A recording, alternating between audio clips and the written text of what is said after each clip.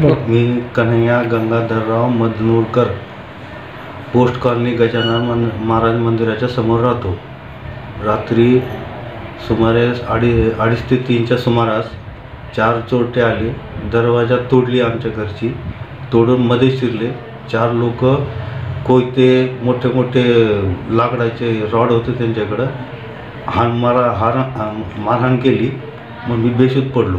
माझ्या हाताला दोन तीन ठिकाणी फ्रॅक्चर झालेले. आहे आता कानाला पण लय जबरदस्त मार लागलेले. आहे मग मी बेशुद्ध पडल्यानंतर तिघं माणसं माझ्यासमोर एक थांबला म्हणे. आणि तिघं माणसं मध्ये जाऊन बायकोला मुलीला वगैरे धमकी देऊन त्यांच्या अंगावरचे सगळे सोने त्या कपाटामधले एक दोन हजार रुपये चिल्लर ते पण घेऊन गेले. सगळेच हिचका करून सगळं निघाण करून घेऊन गेले. आणि परत बाहेर जाताना अर्धा तासाने लॉक करून गेले बाहेरून. बाहेर येऊ नये म्हणून.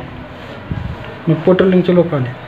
हां? मग पेट्रोलिंगच्या गाडी आल्या पेट्रोलची न नंतर मग गाडी आली. आमच्या मुलीनं त्या म- पोलीस मामा पोलीस म्हणून आवाज दिला.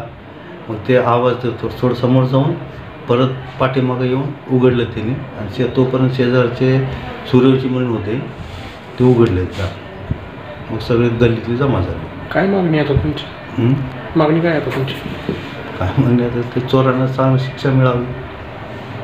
जर आम्हाला जसं घडलं इतर लोकांना तसं घडू नये.